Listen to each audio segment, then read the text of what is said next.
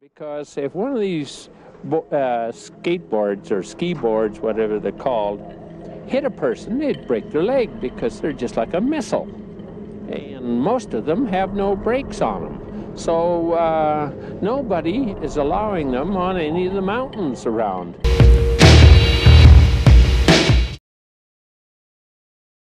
What is the scariest thing that exists on planet Earth? Can you tell me? Can you tell me? Do you know? I I could tell you, but I want you to guess. Comment down below. What are you most scared of? What is your biggest fear in life? Is it heights? Is it spiders? Is it snakes? Is it drowning? Is it fire?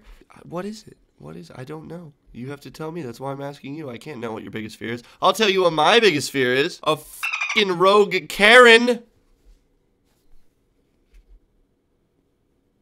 Hello everyone, I'm Jack of the Joog Squad, here to entertain you through all of quarantine, because I guess I I live in Florida, so I forgot that COVID existed, but apparently it does, and people are still locked down and whatnot, so I have to keep you entertained. It is my job, it is my duty as a human to make sure that you are okay. Are you okay? I love you. I love you. You- The world is great. Look outside. Enjoy it a little bit. To me, there's nothing scarier than a Karen, because Karens do not possess logic or reason. There is no logic in this place. They'll yell at you for just about anything. Do not skateboard on the sidewalk. She owns the sidewalk. She also owns the ocean. Don't go don't be in you better not go in Karen's ocean. You better not go in her backyard. You better not do anything that she doesn't like, which is everything. So your very existence is currently pissing off Karens all over the world. It's terrifying. I have here the earliest footage ever captured and ever recorded of a Karen. This is the 1985 Karen. This footage was pulled out of the archives. I find it hilarious. I also have real trouble believing that people like this exist. So, you know, Karens don't like anything that's different. They don't like anything at all in general.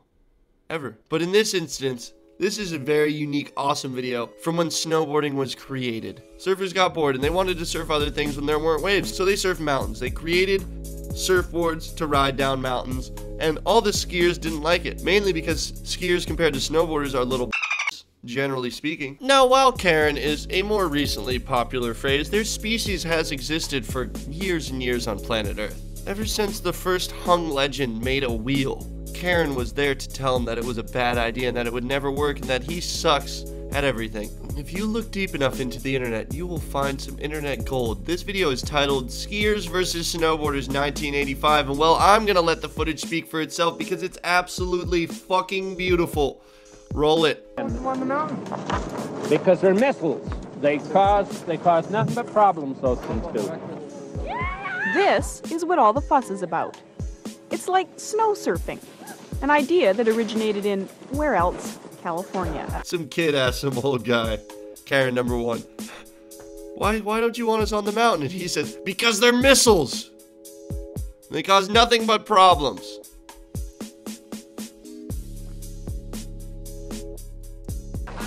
It's been around for almost a decade in the United States, and now it's becoming the trendy thing to do on our local ski slopes. But the operators of the hills want them off. Uh, the skiers, we try and keep them separated, but the snowboards come down the slopes and they'll go right in between the skiers and we'll kick them off and they'll just lip us off. And they're dangerous because if one of these uh, skateboards or ski boards, whatever they're called, hit a person, they'd break their leg because they're just like a missile. And most of them have no brakes on them.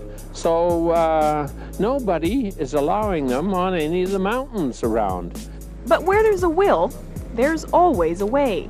The first thing that we need to acknowledge here is this little girl falling. That's kind of funny. The first thing that I'd like to say is we should not trust a word that this man says because he can't even see. How do we expect to believe his stories when his eyes are, are never open? So, Ski hill operators refuse to let anyone with a snowboard onto the chairlift, so they have to hike to the top of the mountain and then find a secluded ski trail where they won't get caught. so this was actually a point in time where where they didn't let snowboarders go up the chairlift. The ski patrol says it's got its hands full. quite a, quite a lot of them are uncooperative.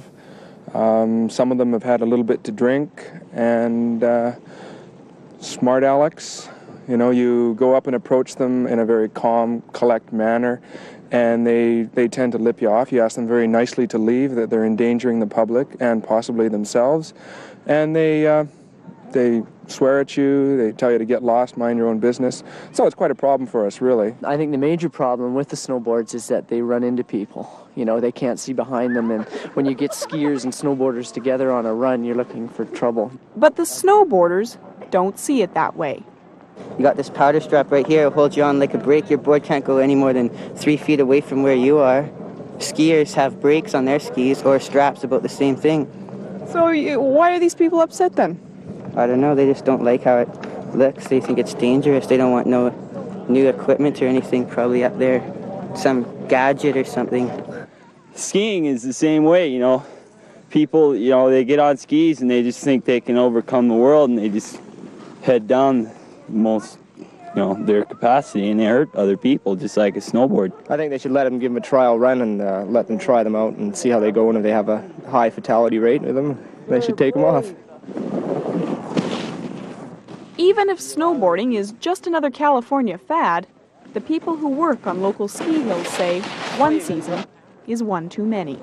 They, they don't see our point, they only see their own point, and it's sort of a tunnel vision of a, of a sort. They don't see our point, they only see their own point. Like, dude, like, has anyone ever been more of a hypocrite in all of history? In all of recorded history, has anyone, any one man, been more of a hypocrite than this guy? If we learned anything here today, it's that it's okay to be different. People are allowed to be different as long as they aren't hurting anyone.